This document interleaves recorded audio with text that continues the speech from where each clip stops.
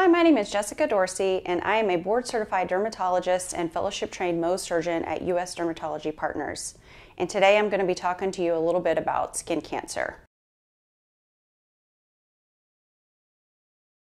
Depending on the depth and type of the tumor, there are a um, variety of ways that you can treat skin cancers. You can do something called electrodesiccation and curettage, which is basically a scraping and burning of the skin cancer.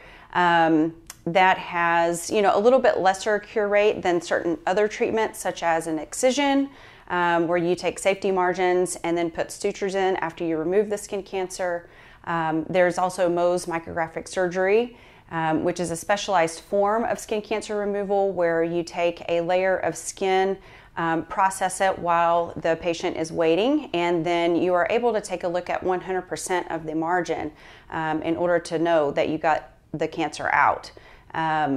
And then there are, for more complex skin cancers, there um, is radiation therapy, and then um, there are some oral or systemic medications that you can take.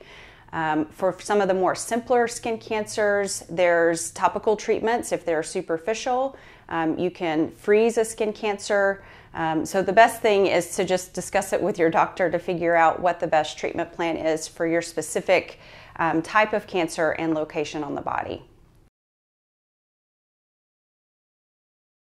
Mohs surgery is typically recommended for more uh, complex um, tumor types, larger tumors, um, recurrent skin cancers, and then those areas on the body where the um, tissue conservation is important, um, such as the face, the nose, the lips, the ears, um, the scalp, the neck, the backs of the hands, the fingers, the fingernails.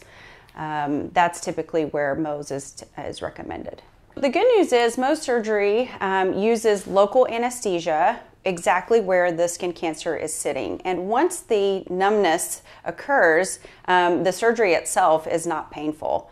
Um, the other good news is that with Mohs surgery, you're able to take smaller margins, and so the surgery defect after you remove the cancer is a lot smaller, and so therefore your scar is a lot smaller, um, meaning that you're going to have an easier recovery time.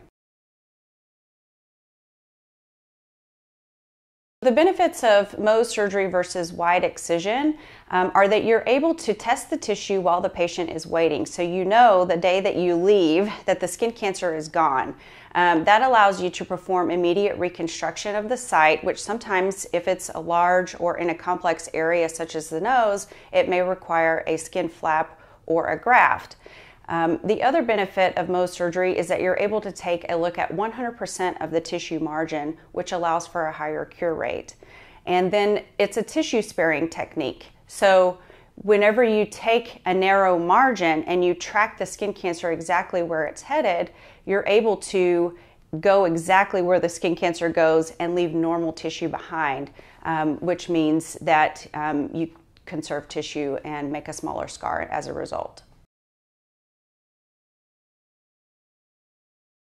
So, the benefits of having a fellowship trained Mohs surgeon are outside of residency, they have had an additional one to two years of intense hands on training at the um, direction of highly qualified physicians from multiple specialties, not only Mohs surgery, but also plastic surgery, oculoplastic surgery, ear, nose, and throat surgery, and surgical oncology, among many others.